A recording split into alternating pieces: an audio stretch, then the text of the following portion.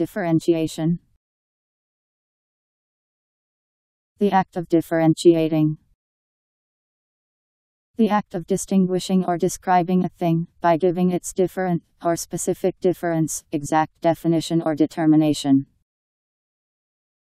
The gradual formation or production of organs or parts by a process of evolution or development, as when the seed develops the root and the stem, the initial stem develops the leaf, branches, and flower buds, or in animal life, when the germ evolves the digestive and other organs and members, or when the animals as they advance in organization acquire special organs for specific purposes. D I F F E R E N T I A T I O N. Differentiation